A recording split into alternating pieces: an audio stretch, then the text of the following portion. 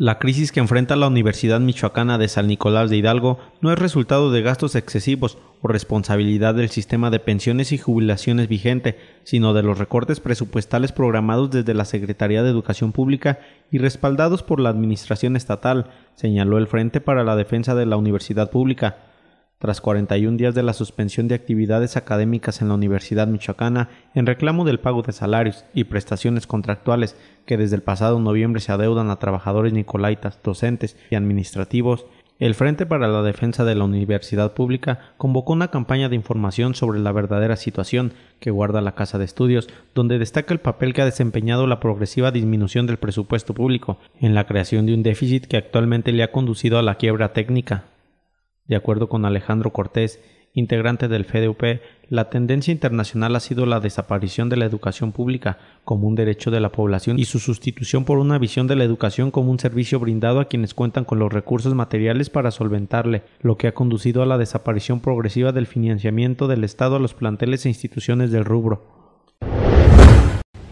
Denunciamos que la delicada condición de insolvencia en que se encuentra inmersa nuestra universidad michoacana es el resultado de una programada disminución de sus recursos, instrumentada por la Federación desde la Subsecretaría de Educación de la SEP. Sabemos primeramente que su presupuesto se derrumbó 13% en el último año, ya que pasó de 2.946 millones de pesos en el 2016 a 2.555 millones en 2017. Este derrumbe es la causa inmediata de la quiebra técnica. La situación de insolvencia es porque nos están dando menos y no como se pretende porque estemos gastando más.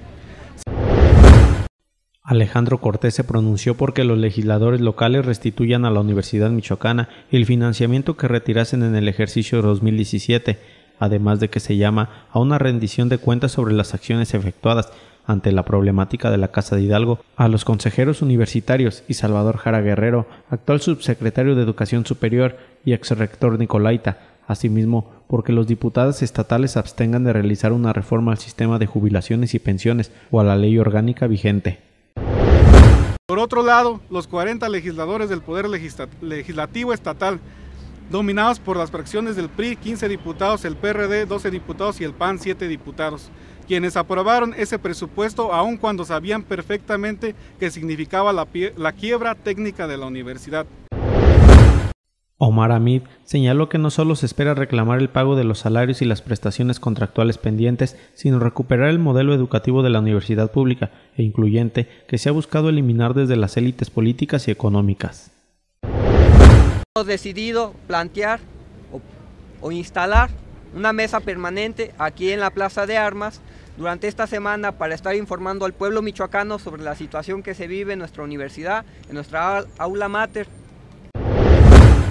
Con imágenes de Leopoldo Hernández e información de Fátima Alfaro, Agencia Cuadratín. Grupo de Oro presentó